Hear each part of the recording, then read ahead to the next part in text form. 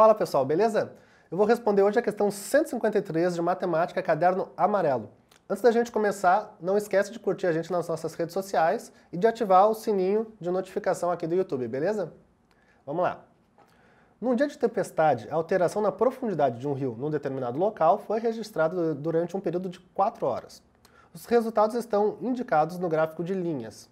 Nele, a profundidade H, registrada às 13 horas, não foi anotada, e a partir de H, cada unidade sobre o eixo vertical representa um metro.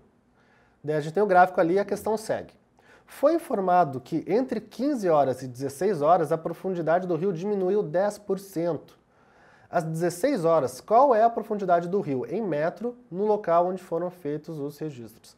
Então, pessoal, qual é o fator de complicação dessa questão? Repara, eu não tenho informação quanto à profundidade aqui. Nenhuma, eu não tenho nenhuma informação. Eu sei, a única coisa que eu sei que vai me servir como base é que de cá para cá eu tenho 10% de diminuição. É a única coisa que eu sei. Então eu vou ter que me virar com o que eu tenho. Então, bem, eu tenho que me virar com o que eu tenho, eu vou utilizar a única coisa que eu sei. Eu sei que eu tenho uma variação de 10%, uma variação de 10%, entre aqui e aqui. Bem, eu vou escrever isso em termos do meu x13 aqui, ou do meu y13, enfim, eu vou, eu vou chamar de x, do meu x13 aqui.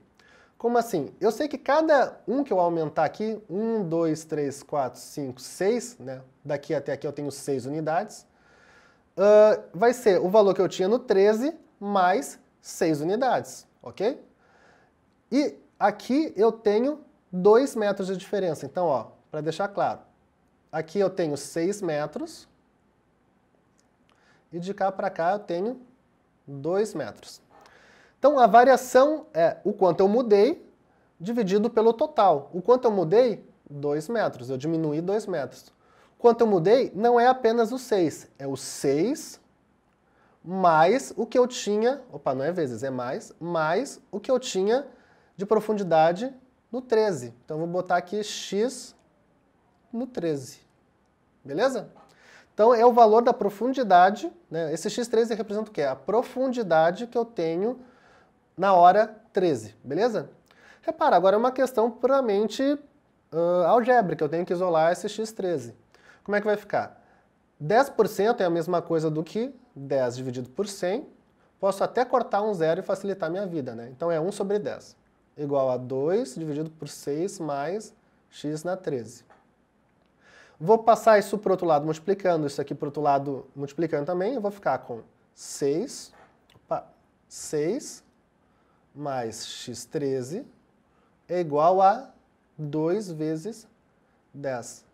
x13 é igual a 20. E isso aqui eu passo para o outro lado, mudo o sinal. Vou achar x13 igual a 14.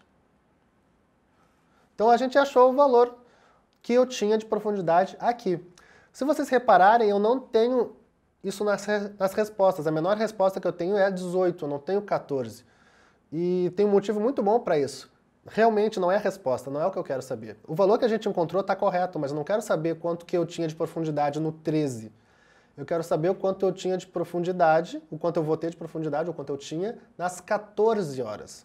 Então, pô, isso aqui, agora eu sei quanto vale. Ó. Isso aqui, ó, de, cá até, de aqui até aqui, eu vou ter 14. Beleza?